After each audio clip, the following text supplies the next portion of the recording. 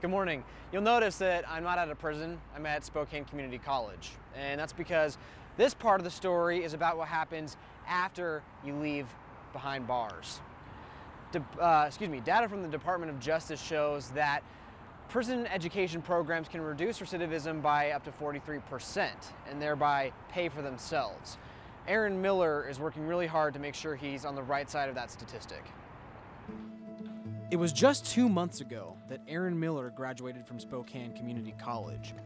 He's not done with school though. He's headed to Eastern Washington University this fall to follow his newfound passion. What do you think about mechanical engineering makes it so attractive to you? Just making things work um, in a more efficient way, in a cleaner way. Uh, anything that I can do to improve on a machine to make it work better or faster, it just floats my boat. I don't know. I like doing it. To take on the subject field in school takes a lot of dedication, and it also takes a love of learning. At 29 years old, Miller now feels he has that. But if you had asked a younger Miller, he would have had a much different answer.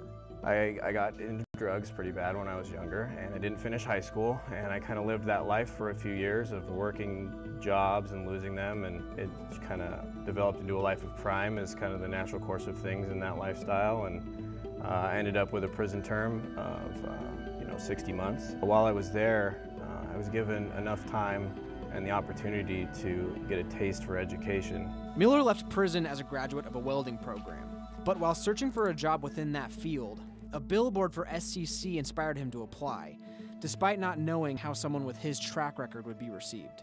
I got into here, was completely honest about my story uh, right from the get-go with um, you know, admissions and registration. I just said, look, I don't know what I'm doing. I just got out of prison. Um, what can you do to help me?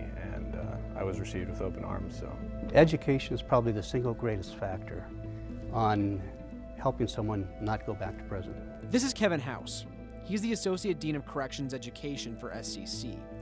He also has almost 40 years of experience in law enforcement, which gives him a unique perspective on crime and recidivism. Many of these guys, like Aaron, go to prison, they don't have any education, no, no high school education, no formal education. So what we do is we get the high school education requirement out of the way, and then if they want to continue that, we have classes that they can take to continue that program. After going through class, they uh, get excited about the education, they want to do more education, and then of course they look forward to employment afterwards. If someone who's in a similar situation to you is watching, mm -hmm. what would you tell them about getting an education and you know using that to turn your life around? It shows people that you're maybe not the same person that's on paper when they look at a criminal record. Doing crime not only is like monetarily a negative to society, but cost of incarceration, legal fees. If you can turn that around and educate somebody uh, and utilize an education, you remove a negative and you add a positive to the community. And I mean, it's a, it's a win-win. I am not the same person I once was.